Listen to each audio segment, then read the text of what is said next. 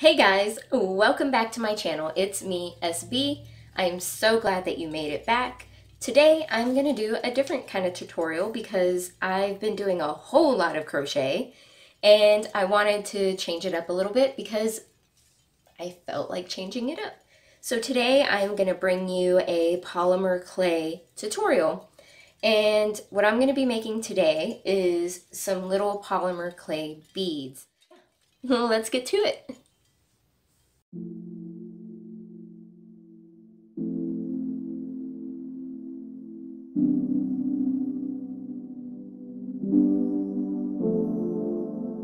Thank you.